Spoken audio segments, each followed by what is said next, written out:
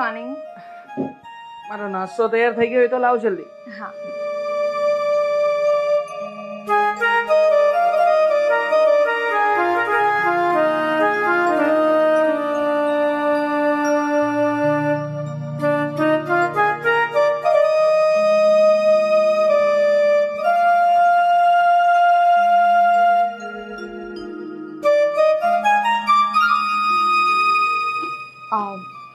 આકાશ તમને એક વાત કહેવી છે. બોલ ને શું વાત કરવી છે? આકાશ કાલે મમ્મી બહુ જ રડતા હતા. કેમ? શું થયું પાછું મમ્મીને? મમ્મી કેમ રડતા હતા? આકાશ પપ્પા આ ઘર છોડીને ચાલ્યા ગયા. એને કાલે પાંચ વર્ષ પૂરા થઈ ગયા. એટલે મમ્મીને પપ્પાની બહુ જ યાદ આવતી હતી. એટલે રડતા હતા. મમ્મી પણ ખરા છે હા? પેલા પપ્પાની સાથે ઝઘડો કરે છે અને પછી પપ્પા ગુસ્સામાં ઘર છોડીને ચાલ્યા જાય છે. ત્યાર પછી એની પાછળ રડ્યા કરે છે. અરે આકાશ તમે પણ શું આવું બધું બોલો છો? તમે જઈને મમ્મીને શાંત કરો એમને સમજાવો. ઠીક છે.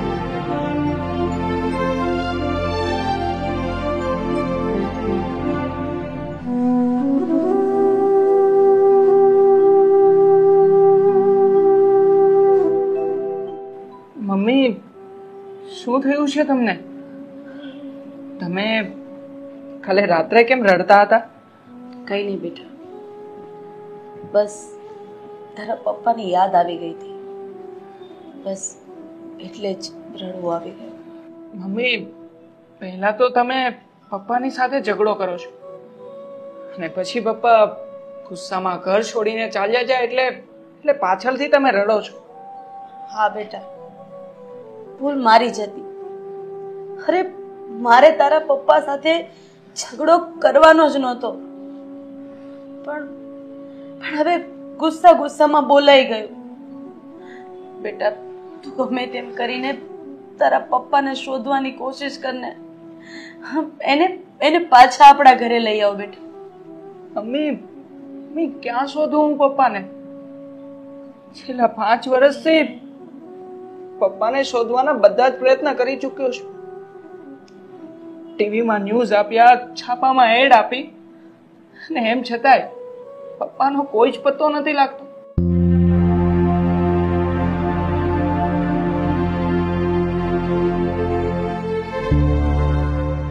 બા કઈ ખાવાનું હોય તો આપો ને.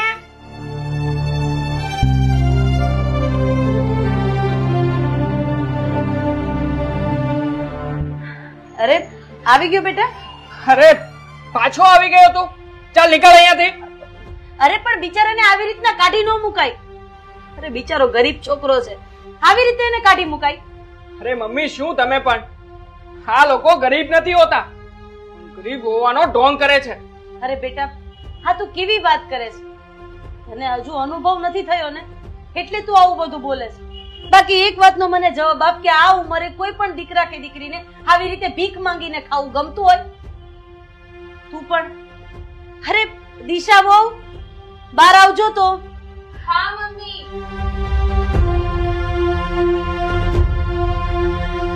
હા બોલો ને મમ્મી.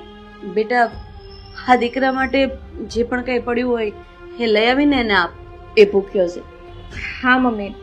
હું જઈને જોઈ લઉં. જે પડ્યું હોય એ લાવી આપું. ભૂખ લાગી છે ને બેટા? બેટા આપણે જે કર્મ કરીએ ને, એનું એક દિવસ ફળ ભગવાન જરૂર ને જરૂર આપે છે. અરે કોકને ખવડાવ્યું હશે ને તો એ ક્યાં કાઢવું આવશે. એમ સમજવા તૈયાર નથી. અરે, એ ભલે બોલે, એનું તારે મગજમાં નહીં લેવા તારે દરરોજ અહીંયા આવી જવાનું. જે પણ કાંઈ હશે ને, એ હું તને આપી દઈશ, હા? બેસ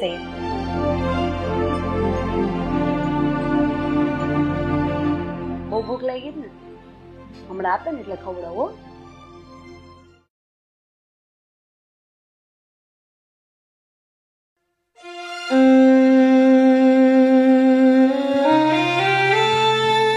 દાદા દાદા, ઉઠો.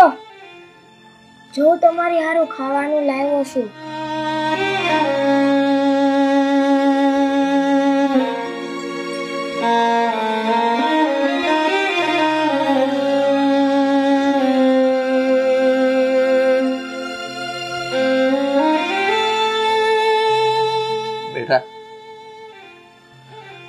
કઈ મને તો એ નથી ખબર પડતી કે તારે ને મારે ક્યાં ભાવની લેણ દેણ બાકી રહી ગઈ છે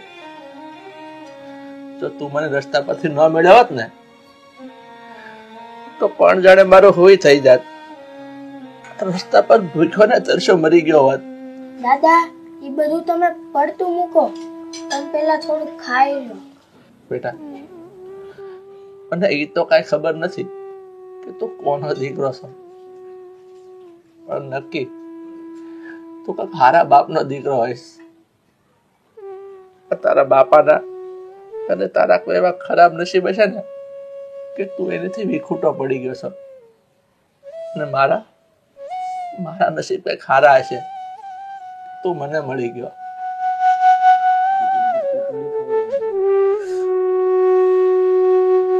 બેટા, પેલા તું થોડું ખાઈ લે. ના દાદા પેલા તમે ખાઓ. મારા દીકરા એક બટકું તું ખા અને એક હું ખાઈશ.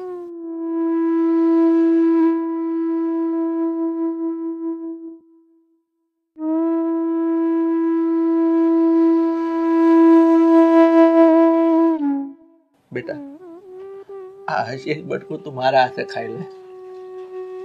નહીં દાદા હજી એક બટકું તમે મારા હાથમાં.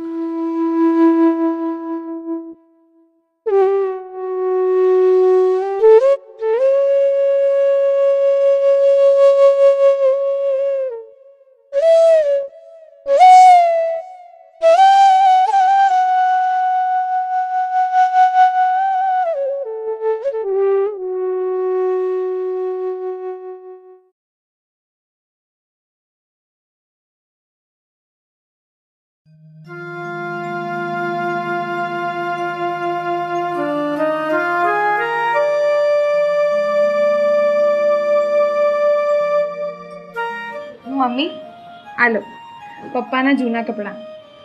બેટા આ કપડાં હવે એમ પણ જૂના થઈ ગયા છે. અને આપણે કંઈ કામના પણ નથી. એટલે હું એમ વિચાર કરું છું કે આ કપડાં હું આને આપી દઉં તો એમની સાથે જે દાદા છે એ તો કમસે કમ પહેરશે. બેટા આ કપડાં તું જાય ને ત્યારે સાથે લેતો જજે હા. મમ્મી આ છોકરો આપણા ઘરમાં શું કરે છે? અહીંયા કેમ બેઠો છે આ? અને અને તમે લોકો આ શું કરો છો? અરે બેટા આ તારા પપ્પાના જૂના કપડાં છે. અને આમ પણ હવે તારા પપ્પા નથી તો આ પહેરશે કોણ? એટલે એ એના દાદાને આપી દઉં તો એ તો બિચારા પહેરશે ને? બસ મમ્મી હવે હાથ થાય છે હા.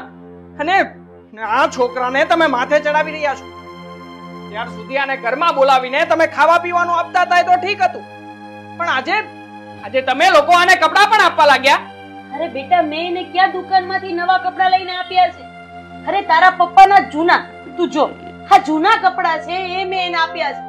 એના દાદા પહેરશે અરે ખરેલા સારા કર્મનું ફળ ભગવાન આપ્યા વગર રહેતો જ નથી. અરે બેટા, એ ક્યારેક મુસીબતમાં હશું ને, તો આડું આવશે. અરે, આપણી ઉપર ઘાત આવતી હશે ને, તો એ ઘાતમાંથી આપણને બચાવશે. અને ખબર નહીં તું આ પાપ અને પુણ્યમાં માનવા જ તૈયાર નથી ને. અરે, મમ્મી, કાંઈ જાડું નથી આવતું. અને કઈ પાપ કે પુણ્ય નથી હોતું. ને જો કદાચ આડા આવશે ને તો આવા જ લોકો આ લોકો નડશે તમને. અરે બસ બેટા આ છોકરાની સામે આટલા ઊંચા અવાજે તું વાત કરે છે. બસ કર. અને બેટા ધર્મના કામમાં કોઈ દિવસ આડો પગ ન કરાય. મેં તને આવા સંસ્કાર આપ્યા છે. ભલે મને પાપ લાગ અને ભલે મારું જે થવું હોય થાય મમ્મી. પણ પણ મહેરબાની કરીને મારી એક વાત સાંભળી લો. આવા આવા લોકોને ધર્મના નામે દેવાનું બંધ કરો હવે. અને આ આ ખોટો રૂપિયાનો ધુમાડો જે થાય છે ને, એ બંધ કરી દો તમે.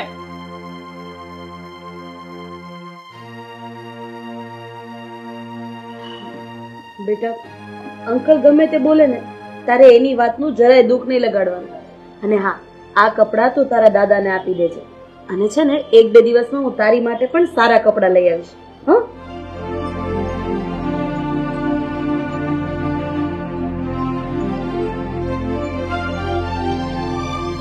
બેટા, હવે અંધારું થઈ ગયું છે. જા, તું ઘરે જા અને આ કપડાં તારા દાદાને આપી દેજે હા? લે. સાચવીને જજો, બેટા.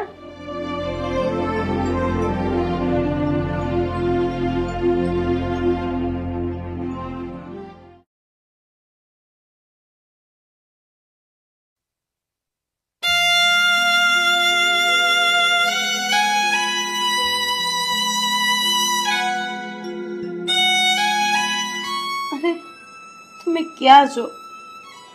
કઈ હાલતમાં છો? એની મને એની મને કઈ જ ખબર નથી. અરે, કયા એવા પતિ પત્ની હશે કે જેની વચ્ચે ઝઘડા ન થતા હોય? તો શું આમ આમ તરછોડીને ચાલ્યું જવાય? અરે, કદાચ મારાથી વધારે બોલાઈ ગયું હતું, તો તમારે નમી જવું હતું. અરે નમવાથી તો સંબંધ હંમેશા મજબૂત થાય છે.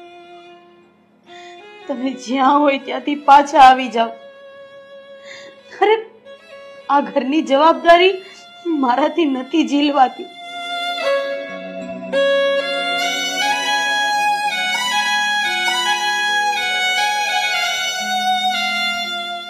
મમ્મી, તમે ક્યાં સુધી આમ આમ રડતા રહેશો? મમ્મી, પપ્પા હવે હવે ઘરે પાછા નહીં આવે. જો પપ્પાને ઘરે પાછા આવવાનું જ હોત, તો તો એ ક્યારના જ આવી ગયા હોત? મમ્મી, હવે તમે તમારા મનમાં એક વાતની ગાંઠ વાળી લો, કે તમારે તમારે હવે પપ્પા વગર જ જીવવાનું છે. બેટા, જો તારા પપ્પા મૃત્યુ પામ્યા હોત ને, તો તો તું જે વાત કરે છે, એના ઉપર હું વિશ્વાસ કરી લે. પણ તારા પપ્પા તારા પપ્પા હજુ જીવે છે. આ દુનિયામાં છે. અને અને મારી સામે નથી આવતા, બસ એ જ વાતનું મને દુઃખ છે. મમ્મી, મળવાનું કે પછી જુદા થવાનું? એ તો ભગવાને આપણા કિસ્મતમાં લખ્યું હોય છે. જો પપ્પાનું મળવું કદાચ તમારા નસીબમાં લખ્યું હશે તો તો પપ્પા તમને મળશે. જ માટે મમ્મી મહેરબાની કરીને આમ દુઃખી ન થો પ્લીઝ દિશા તું એક કામ કર મમ્મી માટે પાણી લઈ. હા.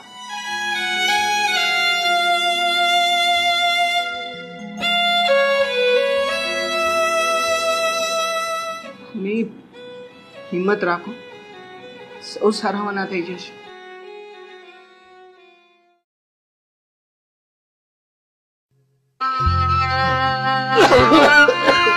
દાદા દાદા તમને શું થાય છે?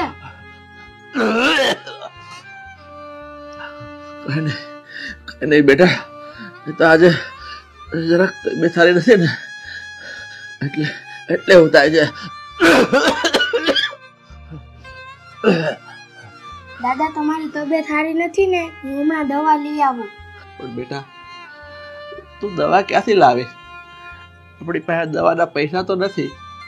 અને તને તને કોઈ દવાના પૈસા જ નહીં આપે. દાદા હું ભીખ માંગી. એમાં જ પૈસા ભેગા થાય ને એમાં જ દવા લાવી. નહીં મારા દીકરા. તારે મારી હાટું થઈને ભીખ નથી માંગવી. તું આટલો નાનો થઈ મારી હાટું કેટલી વેઠું કરશો? બેટા તારે કાંઈ નથી જવાનું. તું અહીંયા મારી પાસે જ બે. દાદા હું હમણાં આવું છું. નહીં બેટા બેટા તું ક્યાં જાશો?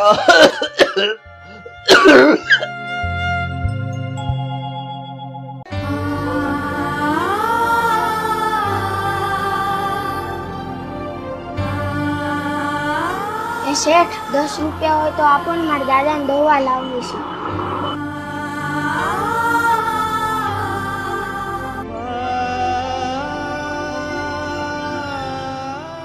દાદા, દસ રૂપિયા પણ ને, મારા દાદાને દવા લાવવી છે.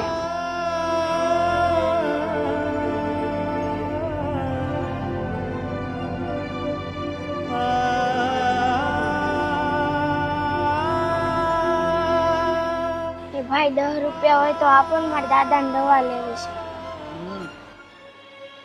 અરે, આ છોકરો અહીંયા, એ પણ ફરી પાછો ભીખ માંગવા લાગ્યો. શેરીમાંથી બે ટાઈમ જમવાનું તો થઈ જાય છે. તો પછી આને ભીખ માંગવાની શું જરૂર? હે છોકરા!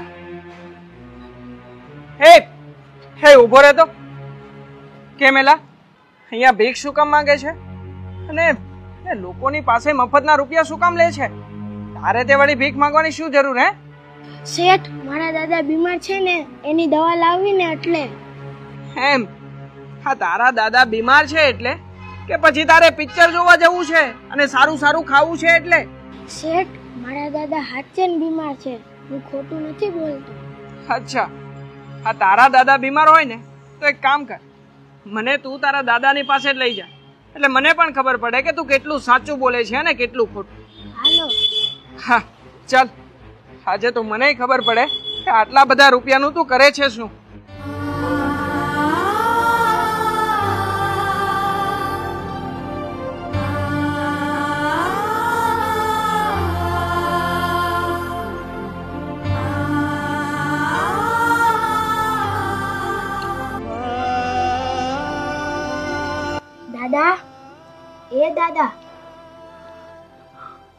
આવી ગયો બેટા તું.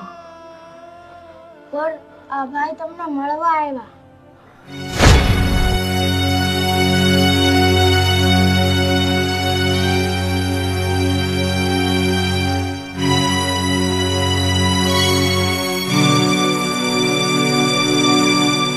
પપ્પા?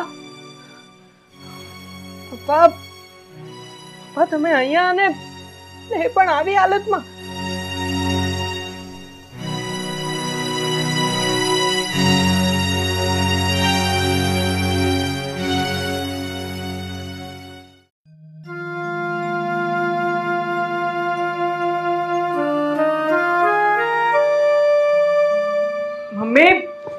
મમ્મી ક્યાં છો તમે? અરે બેટા તું તો ઓફિસે ગયો હતો ને? આમ અચાનક પાછો કેમ આવ્યો? મમ્મી હું તમને એક વાત કહેવા આવ્યો છું. તમે રોજ પેલા નાનકડા ગરીબ બાળકને ખાવાનું આપતા હતા ને? હું તમારી આ વાતથી નારાજ થઈને તમારો વિરોધ કરતો હતો. આ સમયે તમે જ મને કહેતા હતા ને? બેટા, દીધેલા દાન અને પુણ્ય ક્યારેય વ્યર્થ નથી જતા. અમે આજે તમારી એ વાત એકદમ સાચી પડી. તમે દીધેલા દાન પુણ્ય આપણી આડે આવ્યા છે. આપણા માથેથી મુસીબત ટળી ગઈ છે. પણ બેટા, તું કહેવા શું માંગે છે? કંઈક સમજાયું કે ને સમજાવું છું મમ્મી. બધું સમજાવું છું. પપ્પા અંદર આવો ને.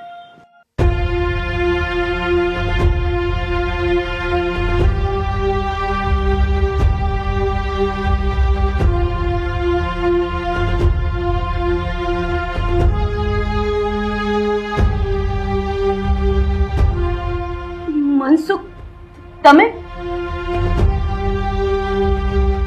અને હા, મમ્મી. આ છોકરો પપ્પાની પાસે જ રહે છે.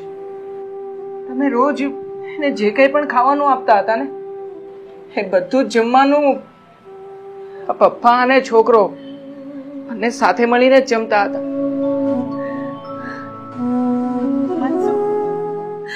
મારી મારી આટલી નાની અમસ્તી વાતની મને આટલી મોટી સજા આપી. અરે અરે તમે ઘર છોડીને ચાલ્યા ગયા. મને છોડીને, મારા દીકરાને છોડીને. અરે એવું જ હતું તો તમારે મારી સાથે લગ્ન જ નતા કરવા.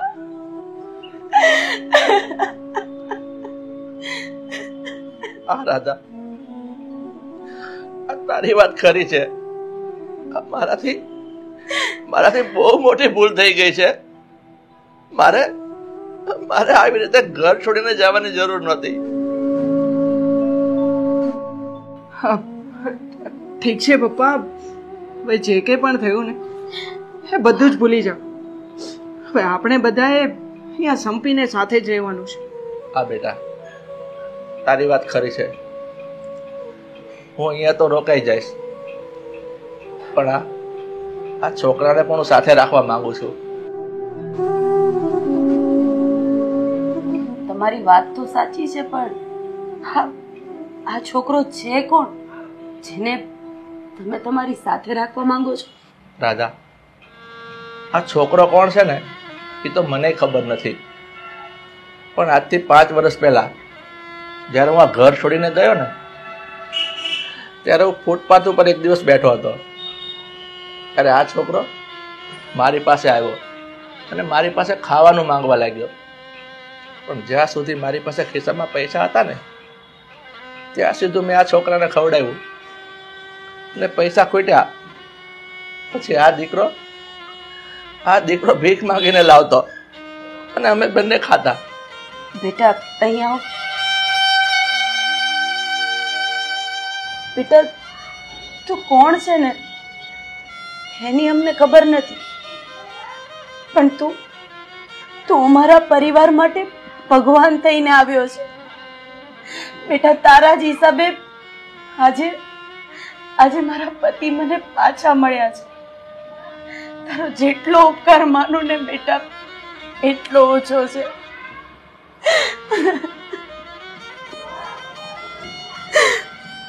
ઠીક છે, પપ્પા. આ છોકરાએ તમારી આટલી બધી સેવા કરી છે અને તમે જો એને આ ઘરમાં રાખવા માંગતા હોય ને, તો રાખી શકો છો. અમને કોઈ જ વાંધો નથી. બેટા, તું દર્શન કરી આવ.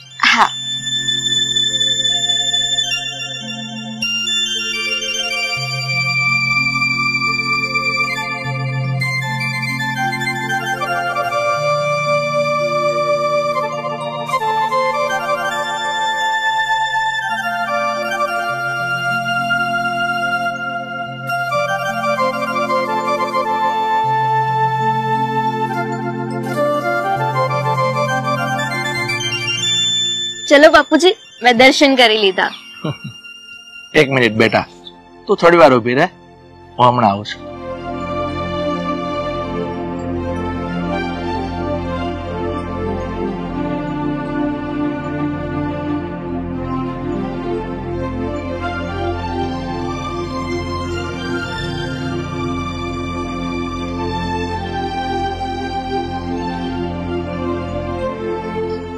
હે ઈશ્વર હે અલ્લાહ.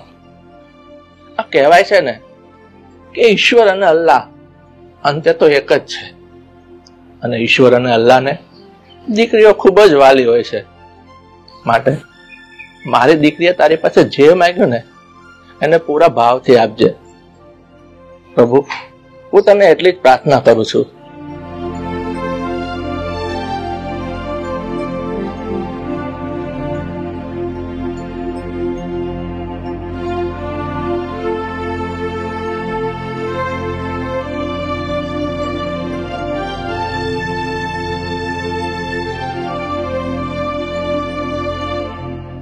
ચાલ બેટા હવે આપણે જઈએ.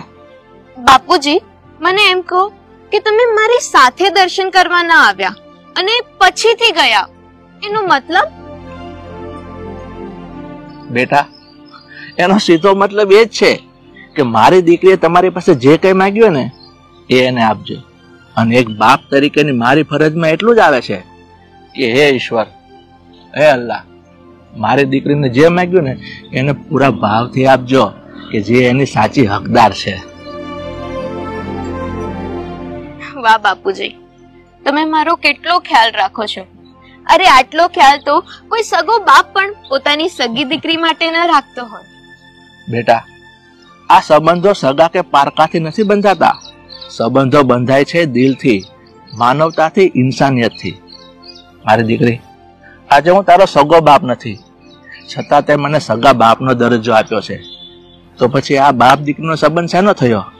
ઇન્સાનિયતનો જ ને? બસ બાપુજી.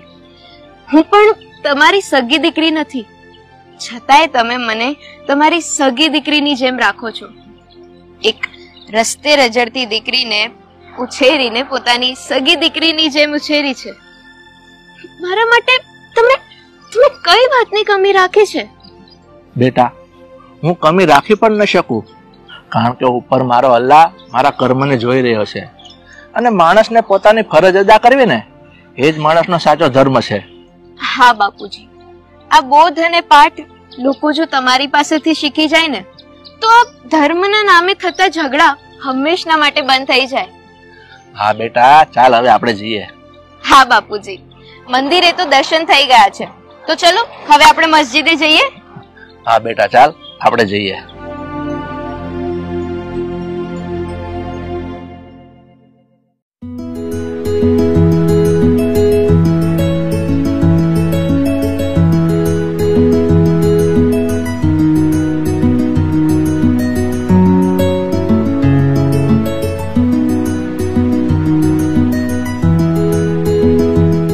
અરે બેટા આજે કેમ તું આ સમય પહેલા કોલેજ જવાની તૈયારી કરે છે? કઈ નહીં મમ્મી આ કોલેજમાં હમણાં એન્યુઅલ ફંક્શનની તૈયારી ચાલે છે ને એટલે વહેલા જાઉં છું. સારું બેટા સંભાળીને જજે હં? હા મમ્મી નો ટેન્શન ઓકે? બેટા મને એ કહેતો કે તે હા આગળનો શું વિચાર કર્યો છે? એટલે કે આ ડિગ્રી મળ્યા બાદ? હું લગ્ન કરીશ. જાને હવે વાયડા આ તો શું બોલે છે? અરે મમ્મી પણ જે વાત તમે મને કહેવા માંગતા હતા એ વાત મેં તમને કહી દીધી. તેમાં વાયડો શું? આ બધી વાત માવતર કરે છોકરાઓ નહીં. જો મમ્મી તમે મારા માં છો. એની સાથે સાથે એક સારા મિત્ર પણ છો. સાથે સારા સલાહકાર અને અધૂરામાં પૂરું મારા માટે મેન તો તમે મારા ગુરુ છો. એટલે તારા માટે આ ગુરુ મિત્રમાં સલાહકાર એ બધું તો હું છું. એ તો બહુ સારી વાત કહેવાય. એટલે? એટલે તારે મારી સાથે આ લગ્નની વાત કરવાની. અરે મમ્મી પણ તમે સમજતા કેમ નથી? આ બધું તો હું તમને એક સારા એવા મિત્ર માનું છું ને. એટલે મિત્રના નાતે કહી રહ્યો છું. સારું સારું. હવે તું જા. સમજો ઘડિયાળમાં કેટલા વાગ્યા છે. જા અને બહુ સારી રીતે તારા એન્યુઅલ ફંક્શનની તૈયારી કરજે. હમ? યસ યસ મમ ચાલો. હવે જલ્દીથી મને આશીર્વાદ આપો. ફતેહ કે લીએ તો આમ તૈયારી હે? મારા આશીર્વાદ હર હંમેશ તારી સાથે છે. શાંતિથી જા આવે જા. ખેલો થયા વગરનો. ચલો મમ્મી. બાય હા? બાય ટેક કેર હા બેટા.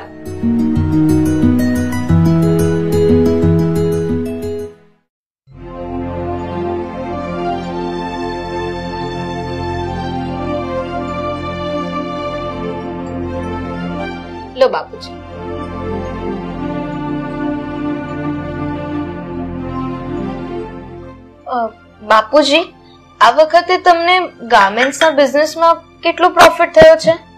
કેમ બેટા? આવું પૂછે છે? બસ થોડું કામ છે એટલે. કામ હતું? બોલ ને બેટા શું કામ હતું? મારી ડિગ્રીનું આ છેલ્લું વર્ષ છે. અને હું એમ ઈચ્છું છું કે જો આપણી પાસે થોડા અમથા રૂપિયા હોય ને તો મારી એક ફ્રેન્ડ છે જે પૈસે ટકે થોડી કમજોર છે તો હું એની હેલ્પ કરવા માંગુ છું. તો પછી બેટા એમાં તો નફા નુકસાનનું શું કામ પહોંચે છે? તારે જેટલા પૈસા જોતા હોય ને એટલા કે હું આપીશ. થેન્ક યુ બાપુજી. તમારો ખૂબ ખૂબ આભાર. આભાર? જો બેટા આભાર કોઈ દિવસ વ્યક્ત નહીં કરવાનો. લેકિન તમે તો મને શીખવાડ્યું છે ને કે આભાર વ્યક્ત કરવાનો? બેટા આ બારને વ્યક્તિ હોય ને એના માટે આભાર વ્યક્ત કરવાનો હોય. આમ ઘરના માટે નહીં. નહીં હા? બહાર હોય કે ઘરના? મદદ તો મદદ જ હોય. પછી ભલે ને કોઈ કરે. ઓકે બેટા તું જેમ કે એમ બસ. આ જગતના સૌથી બેસ્ટ બાપુજી હોય ને તો એ તમે છો. અને આ જગતની સૌથી બેસ્ટ દીકરી હોય ને તો એ તું છે. બાપુજી એક વાતનો જવાબ આપો. તમે મને આટલો બધો પ્રેમ કરો છો. કાલે હું સાસરે જતી રહીશ તો તમે શું કરશો? આ બેટા આનો તમે વિચાર જ નથી કર્યો. પણ આ વાત વિચારવા જેવી ખરી. અને સાચું કહું ને તું સાસરે જઈશ ને પછી હું એકલો શું કરીશ? એક કામ કરીએ બાપુજી હું છે ને સાસરે જઈશ જ નહીં સદાયને માટે તમારી સાથે જ રહીશ. પણ દીકરી તો હંમેશા સાસરે શોભે. બાપના ઘરે તું કેટલા દિવસ રહીશ? બેટા સાચું કહું ને મને તારી વગર નહીં ગમે. બાપુજી હવે તમે જ કહો મને કે શું હું તમારા વગર રહી શકીશ? અને જો આમ વાતમાં ને વાતમાં તમે રડવા લાગશો ને તો પછી હું પણ રડવા લાગીશ. ઓકે બેટા. તું જા રસોઈની તૈયારી કર. મારે દુકાને જવું છે ને એક કલાકનું કામ છે. હું હમણાં પતાવી નાખું. હા બાપુજી.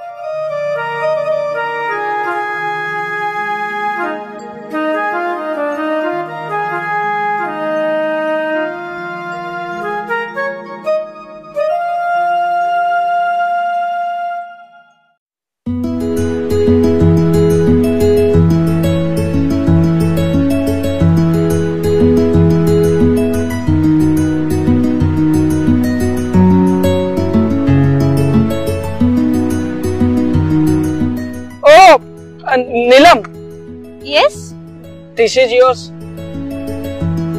Oh, thank you. Hi, I Mitesh Mitesh. Hi, am Neelam અહ, સારું થયું કે તમારો આ કાગળ મળી ગયો હા નહીં કે તમે તો ટેન્શનમાં ને ટેન્શનમાં આમ તમારી તબિયત બગડી જાત ને એ કેવી રીતે એટલે એમ કે આ તમારા જરૂરી ડોક્યુમેન્ટ છે અને જો અહીંયા જ પડ્યા રહેત ને ઘરે જઈને તમને યાદ આવત તો પછી તમે જ વિચાર કરો આ ડોક્યુમેન્ટનું કેટલું ટેન્શન થાત અને એ ટેન્શનમાં ટેન્શનમાં તમારી તબિયત સુધરી જાત કે બગડી જાત? તમે જ કહો. આ કોપી છે. ઓરિજિનલ ડોક્યુમેન્ટ તો ઘરે પડ્યા છે. ઓ તો તમારી તબિયત તો બરાબર જ છે. પણ એમ છતાંય હમ આ ડોક્યુમેન્ટ ઓરિજિનલ હોય કે પછી ડુપ્લિકેટ પણ એને સંભાળીને જ રાખવા પડે. કોણ જાણે ત્યારે તો આ દુનિયા કેવી થઈ ગઈ છે? આપણા ડોક્યુમેન્ટનો કોણ અને કેવી રીતે મિસયુઝ કરી નાખે આપણને શું ખબર? હા એ વાત તો છે. બાય ધ વે કઈ કોલેજમાં ભણે છે? હું ગુરુકુળમાં. હો સેમ શું વાત કરે છે તું? તું પણ ગુરુકુળમાં? પણ કયા યરમાં ફાઇનલ યરમાં અને તું? અરે યાર કેવું પડે? હું પણ ફાઇનલ યરમાં પણ આજ સુધી મેં તને ક્યારેય કોલેજમાં કે કેમ્પસમાં તો જોયો જ નથી. પણ હું તને કદાચ ઓળખું છું. તું એ જ છે ને જે લાસ્ટ યર ગુરુકુળમાં સેકન્ડ નંબર પર આવ્યો હતો. હા હા હું એ જ છું. પણ કેવું પડે હો બાકી? આપણે બંને સાથે એક જ કોલેજમાં ને એક જ યરમાં અભ્યાસ કરીએ છીએ પણ આજ સુધી ક્યારેય નથી આપણે કેન્ટીનમાં ભેગા થયા કે નથી કોલેજ કેમ્પસમાં એકચ્યુઅલી મને મિત્રો બનાવવા થોડા ઓછા ગમે છે. મારા થોડાક એવા મિત્રો છે એ લોકોની સાથે જ ફરું છું. ઘરથી કોલેજ કોલેજથી ઘર. બસ આજ આપણી લાઈફ હા હોઈ શકે. જોકે તારી આ વાતને હું માન્ય પણ કરું છું. કારણ કે આ દુનિયામાં બધા જ લોકો તો ક્યારે એક સરખા તો ના જ હોઈ શકે ને? દરેક લોકોની આમ રહેણી કહેણી અલગ રહેવાની રીતભાત અલગ બોલવાની ભાષા પણ અલગ અલગ શું તું મને તારો ફ્રેન્ડ બનાવીશ? યા વાય નોટ માણસથી માણસના વિચાર મેળ ખાતા હોય ને તો એ વ્યક્તિને ફ્રેન્ડ બનાવવામાં ખોટું નથી. ઓકે ડન તો આ તારા અને મારા વિચારો મળે છે એ વાત તો પાકી. હા તો ચલો આપણે ફરી મળીએ.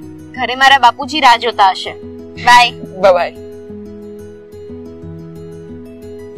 અરે બહુ અજીબ છોકરી છે યાર આ તો. આજના મોડર્ન જમાનામાં પણ પપ્પાને બાપુજી કહીને બોલાવે છે. છે યાર જે હોય તે. આપણે શું? ચાલ.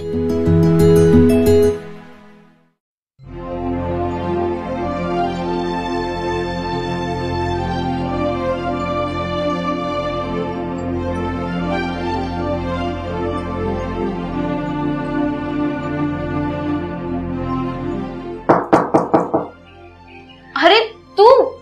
તને મારા ઘરનું એડ્રેસ કોણે આપ્યું? અ, પહેલા આવ બેસ.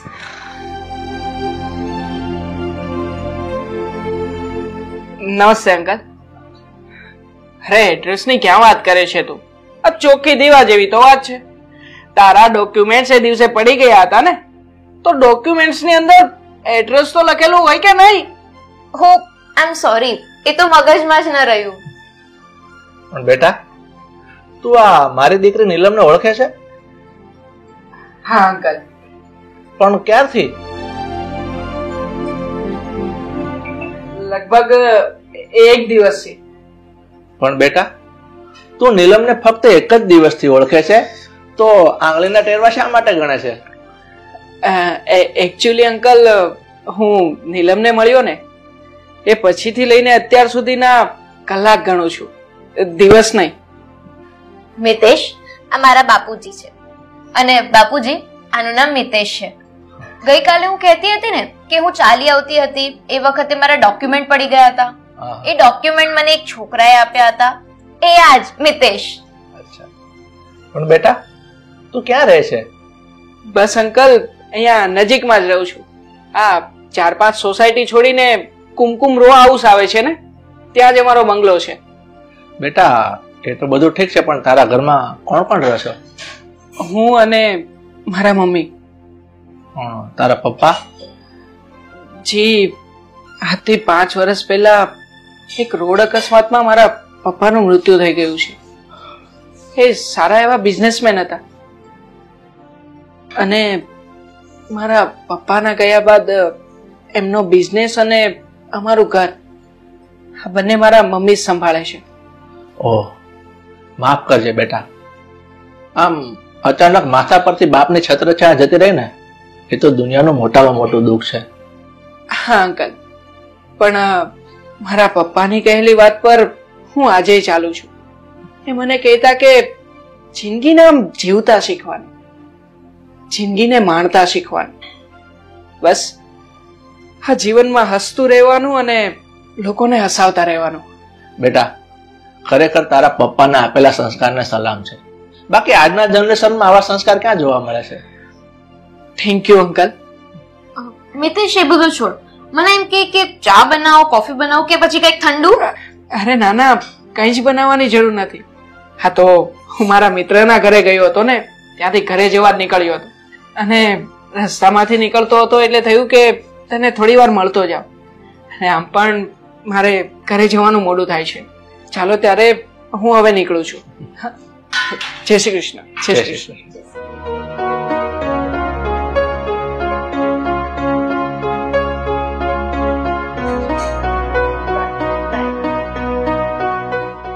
ચલો પપ્પા હવે તમારો નમાઝ પડવાનો સમય થઈ ગયો છે.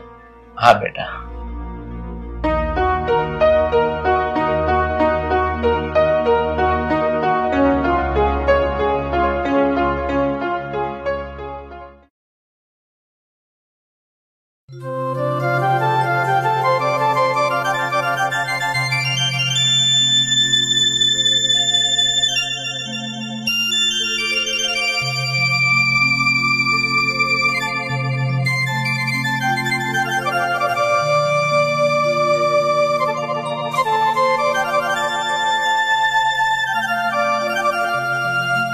મમ્મી જો ને.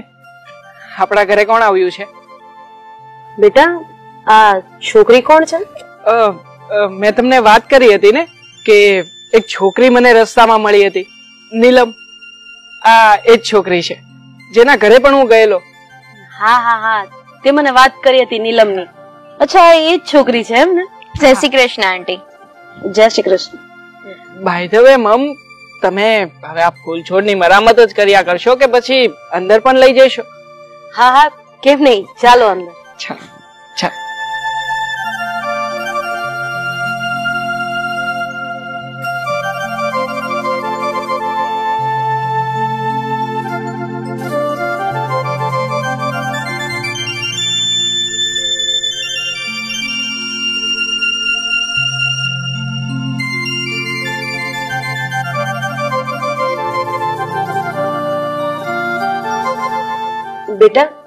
મને મિતેશે વાત કરી હતી કે તું અને તારા પપ્પા બંને એકલા જ રહો છો. અને તારા પપ્પા તારા સારા એજ્યુકેશન માટે તનતોડ મહેનત કરી રહ્યા છે. હા આંટી. મારા બાપુજી છે જેવા. મિલનસાર ભાવુક સંવેદનશીલ. જે ક્યારેય પણ કોઈનું દુઃખ નથી જોઈ શકતા. નીલમ તને ખોટું ન લાગે તો એક વાત પૂછું? જો કે મને ખબર જ છે કે તું શું પૂછવા માંગે છે. તેમ છતાંય પૂછ. જ્યારે હું તારા ઘરે આવ્યો હતો ત્યારે હું તારા બાપુજીને મળ્યો હતો.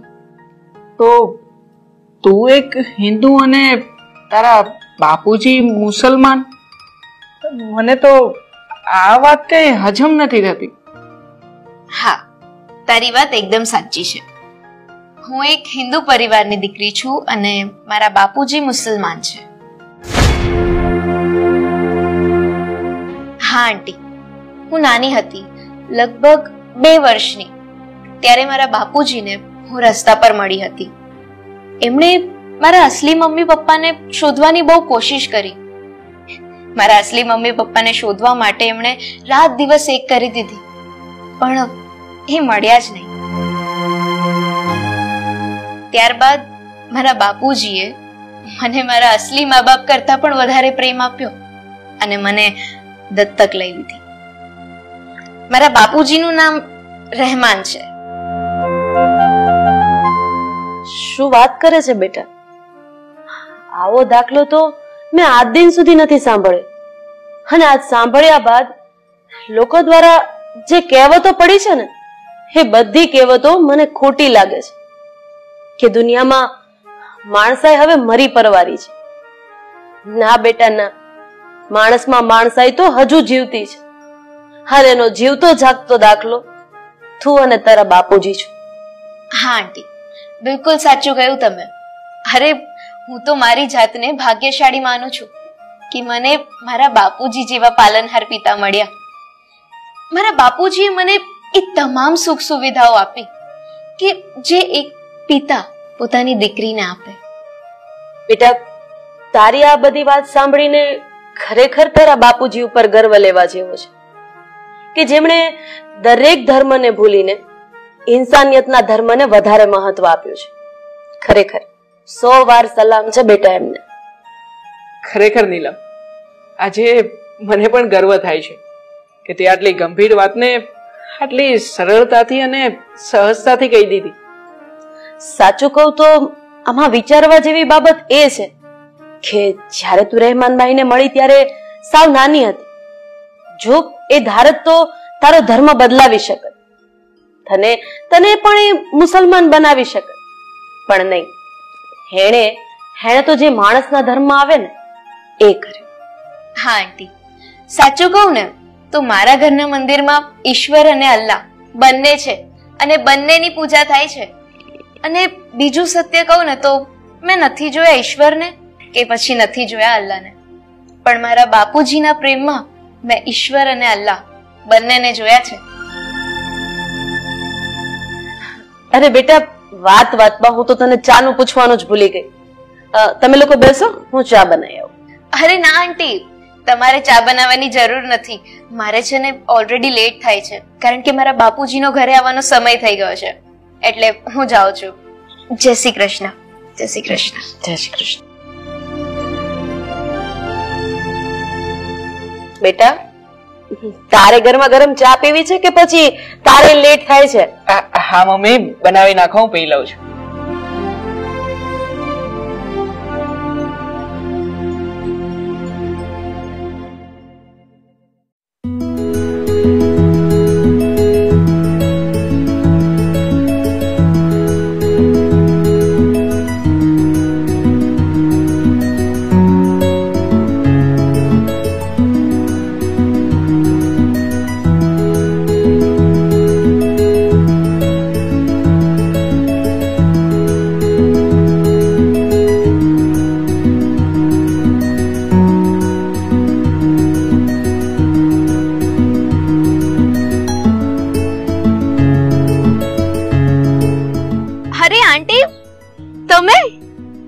હા બેટા.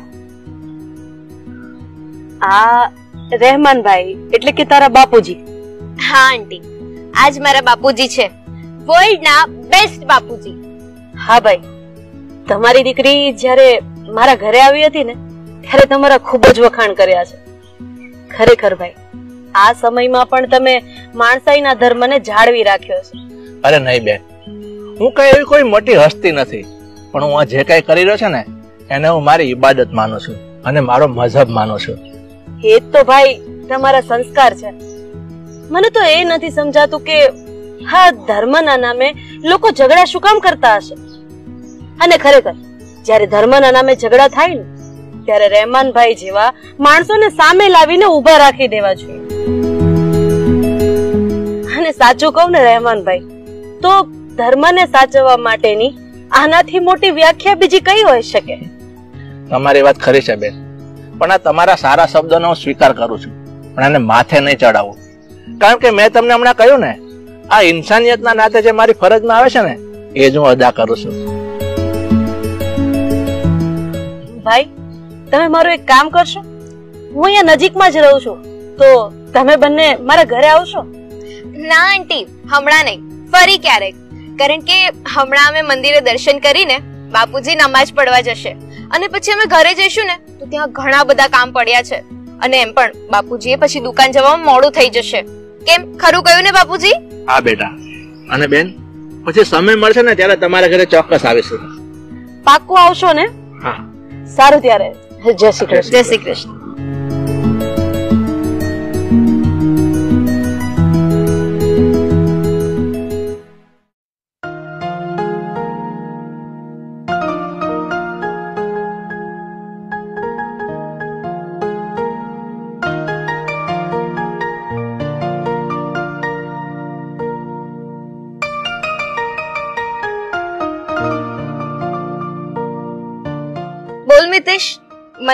શા માટે બોલાવી તે? એક જરૂરી વાત કરવા. હા તો બોલ શું વાત છે? ડાયરેક્ટ પોઈન્ટની વાત કરું કે પછી આમ ગોળ ગોળ ફેરવીને? જો ડિરેક્ટ પોઈન્ટની વાત કરશે ને તો વધારે મજા આવશે. તો પછી પોઈન્ટની વાત એ છે કે I love you do you love me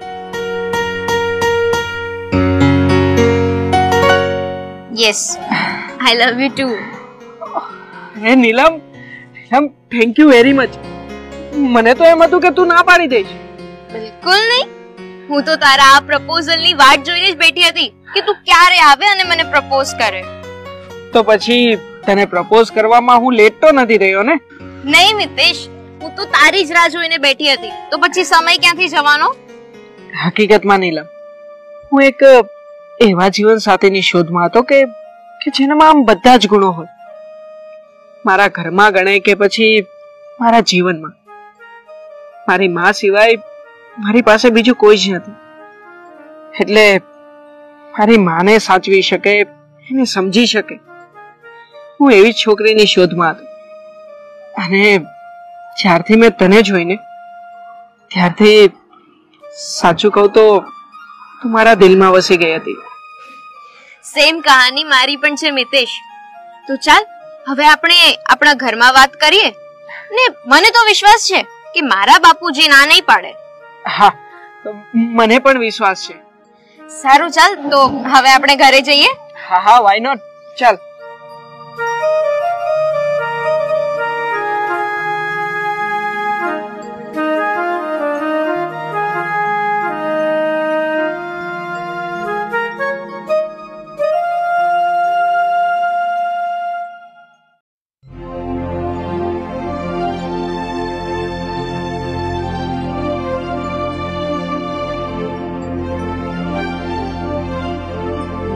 Radhaben?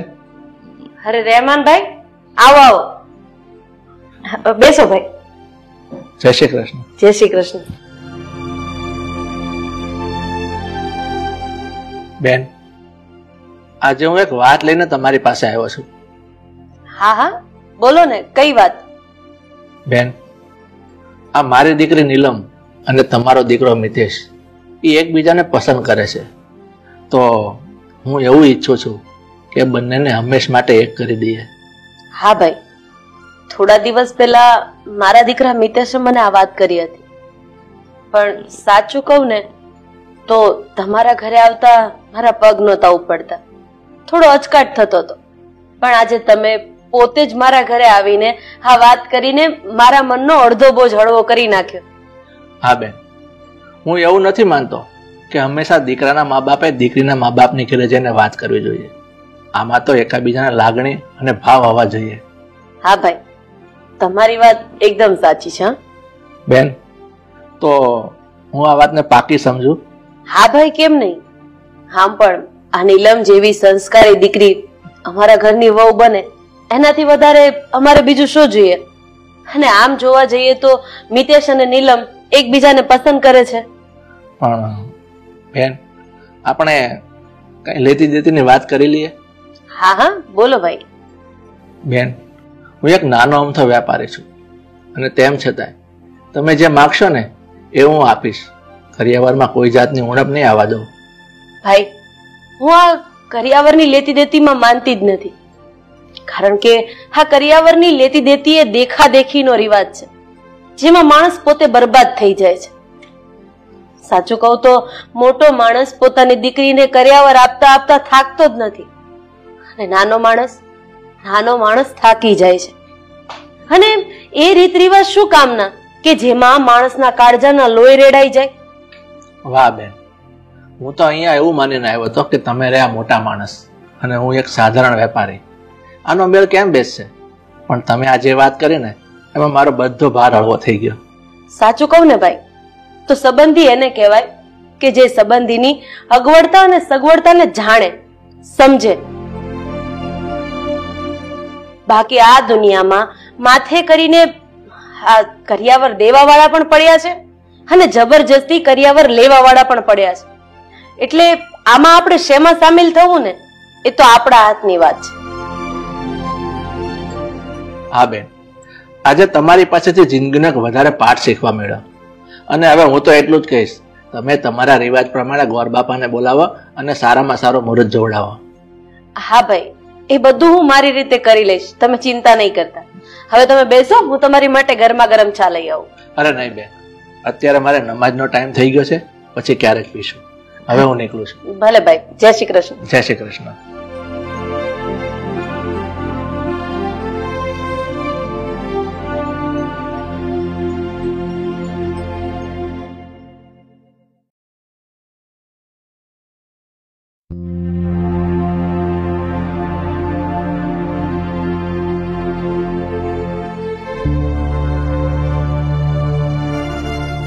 નીલમ તે મને આમ અર્જન્ટ અહીંયા શું કામ બોલાવ્યો? પહેલા બેસ તું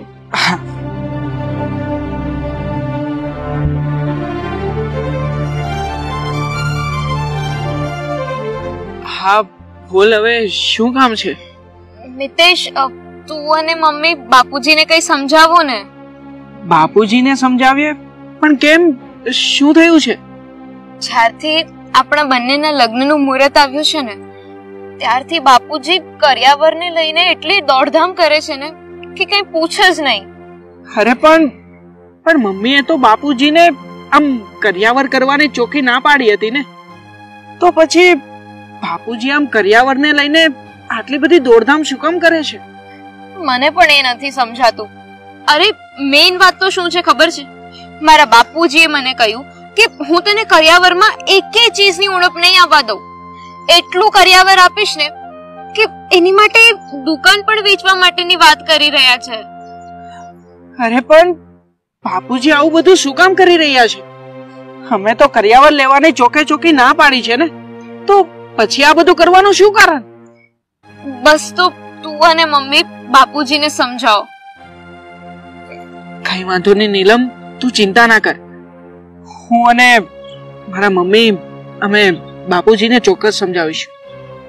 મિતેશ સાચી વાત કહું તો તારા બાપુજી મને કેટલો પ્રેમ કરે છે. અરે બસ નીલમ હવે આમ રડીશ નહીં. અમે લોકો પહેલી તકે તારા ઘરે આવીશું. એક કામ કર તું અત્યારે તારા ઘરે જા હું મમ્મીને વાત કરું છું. હા? ચાલ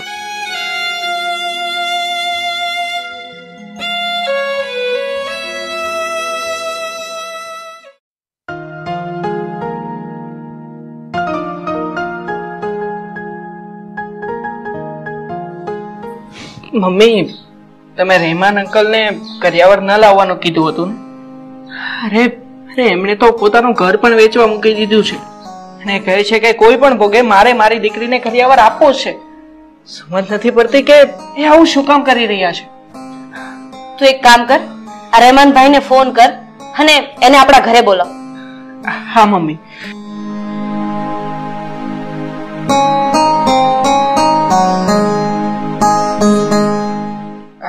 હેલો હા અંકલ. અમારે થોડી તમારી સાથે ડિસ્કસ કરવી હતી. ના ના બહુ જરૂરી નથી પણ હા હા. Okay okay uncle no problem. હા. હા ઓકે મૂકું છું. શું કીધું એમણે? મમ્મી મહેમાન અંકલે કહ્યું કે એ અત્યારમાં દુકાને છે એમની. તો આપણે લોકો એમના ઘરે જઈએ એ ત્યાં જ આવી જશે. ઠીક છે. સારું ચાલ. ચાલો.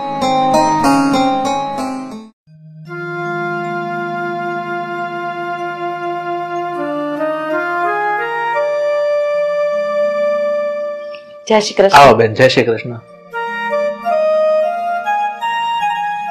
રહેમાનભાઈ અમે એક જરૂરી કામ માટે અહીં આવ્યા છીએ. હા હા બોલો ને બેન.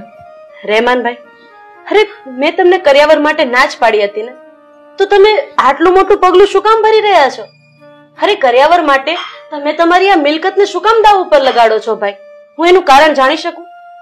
બેટા નીલમ આ મહેમાન માટે પાણી લાજા દીકરા.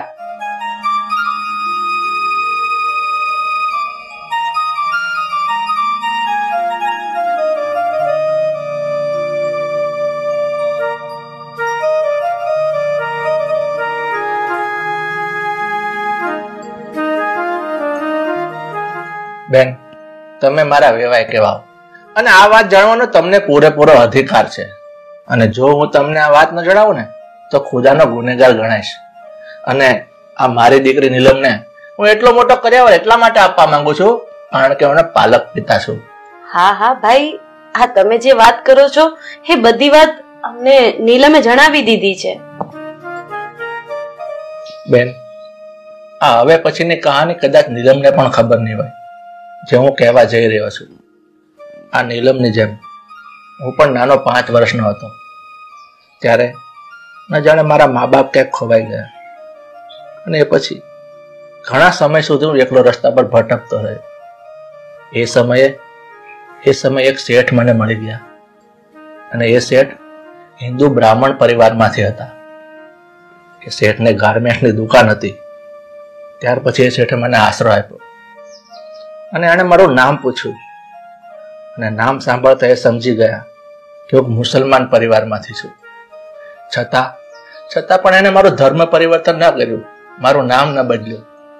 અને એમણે એમણે મને એક પોતાના દીકરાની જેમ સાચવ્યો અને માનપાન આપીને ઉછેર્યો. અને બેન, સમય જતા એ શેઠનું અવસાન થઈ ગયું. પછી એ ગાર્મેન્ટ્સની દુકાન મેં સંભાળી લીધી. અને આજે પણ આજે પણ એ દુકાન પર મારા શેઠનું નામ લાગેલું છે. ખરેખર રહેમાનભાઈ તમે તમે માણસના રૂપમાં કોઈક દેવતા છો. હવે મને આખી વાત સમજાઈ ગઈ છે. બેન આ મારા શેઠના અવસાન પછી થોડા સમય બાદ આ નાની દીકરી મને રસ્તા પરથી મળી આવી. અને એણે એણે બાકીની વિગતો તમને જણાવી જ છે. બેન, હું તમને સાચી વાત કરું ને, જ્યારે હું નાનો હતો અને મારા મુસ્લિમ પરિવારમાં ઉછરીને મોટો થયો ને, ત્યારે મને હિન્દુ ધર્મ વિશે ઘણું ખરું ખોટું સમજાવવામાં આવતું. પણ નહીં, જ્યારે મને મારા શેઠ, જેઓ હિન્દુ બ્રાહ્મણ પરિવારમાંથી હતા, એણે મને દીકરા કરતા વિશેષ સાચવીને મોટો કર્યો. ત્યારે મને અહેસાસ થયો કે ધર્મ કોઈ ખરાબ નથી હોતો. ખરાબ હોય છે તો માણસની સોચ અને માણસાઈથી મોટો બીજો કોઈ ધર્મ નથી હોતો. બેન, હવે તમે જ મને કહો, આ મારી દીકરીને ખાલી હાથે કેવી રીતે સાસરે વળાવું? અને જો ખાલી હાથે વળાવું ને, તો ખુદાનો કેટલો મોટો ગુનેગાર બનું? ભાઈ, તમારી વાત સોળાની સાચી છે. તમે તમારી વાત ઉપર અડગ રહો. હું મારી વાત ઉપર અડગ રહીશ. તમારે હા તમારી લાડકી દીકરીને કર્યાવર આપવો જ છે. અને મારે તો કરિયાવર લેવો નથી. સાચું કહું તો ભાઈ, ખરેખર ખરેખર સલામ છે જે તમારી અંદર માનવતા છે જે ઇન્સાનિયત છે એને કારણ કે હા સમાજમાં ધર્મના નામે કંઈક કેટલા ઝઘડાઓ થાય છે. અરે ધર્મના નામે ન થવાના કામ થાય છે. ત્યારે તમારા જેવા લોકો ખરેખર માનવતાનું ઉત્તમ ઉદાહરણ પૂરું પાડે છે. તમે મુસલમાન છો તો હું પણ હિન્દુ છું. તમે મારા ભાઈ છો એટલે જેમ તમે જિદ્દી છો એમ હું પણ જિદ્દી છું. મારે કરિયાવર નથી જોતો પણ કરિયાવરમાં હા તમારી દીકરી જોઈએ છે.